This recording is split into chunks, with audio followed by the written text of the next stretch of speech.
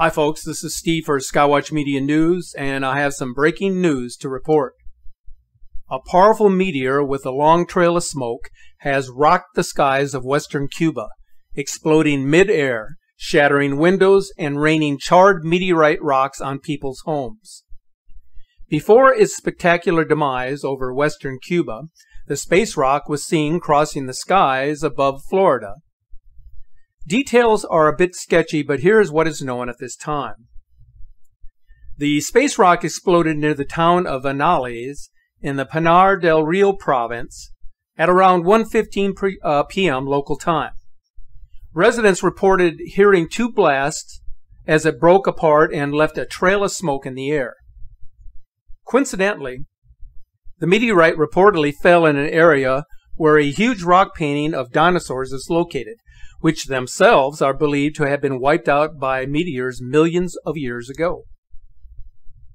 The National Weather Service in Key West reported that the meteor was visible over the Florida Keys as far north as Marathon prior to its entry over the Pinar del Rio province. So it appears that a meteorite impact occurred in western Cuba near the town of Viñales earlier this afternoon.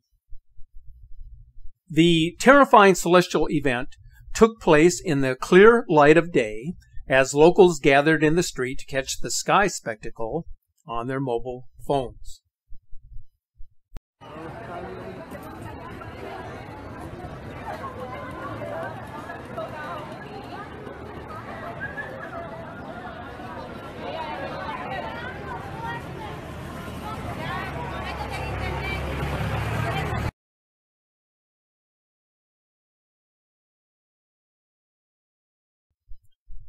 The charred meteorite rocks that rained down upon residents' homes were photographed and posted to social media. The Cuban government is mobilizing personnel to further investigate the incident.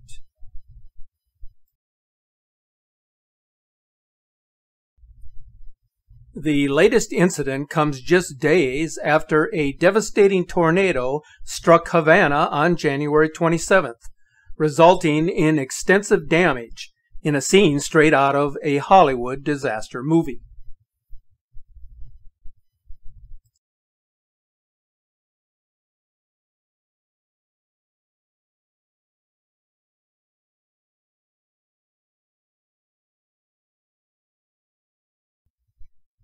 Further updates on the meteor explosion will be posted on the Skywatch Media news site and Facebook page.